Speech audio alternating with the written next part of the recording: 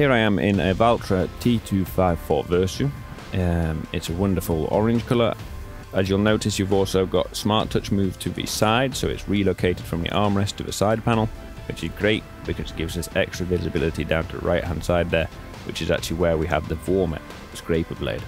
The Vuomet scraper blade is a very heavy duty solution for scraper blades, so all the work is done by the Unlimited Studio, all the work is covered by the Unlimited warranty. The scraper blade can turn uh, a a small amount to the right hand side. Uh, it's a very heavy duty, like I said, which makes it great for summertime scraping gravel roads and, and reshaping gravel roads which are in bad condition, as it can survive the, the, the hits and the shocks it gets from stones and the like. And then also in the wintertime, it's great for scraping down ice and snow off the road when they get heavy and compacted. So it's a really good all round piece of kit. As you can see, you have the control box on the right hand side, which has all your different settings, so you can adjust the angle of the blade and the pressure on the blade. You've also got your own work lights from there. Um, and you can change all those settings. It's got automatic pressure sensing, so basically all you have to do is with the extra lever inside the cabin, drop the blade down and she'll automatically go to the pressure you've set and you can lift it up as well, um, simply by just pushing the lever back. She also has reversing automatic, so again, really handy feature. As you drive forward, the blade will be down, you pop it into reverse, it automatically lifts the blade up.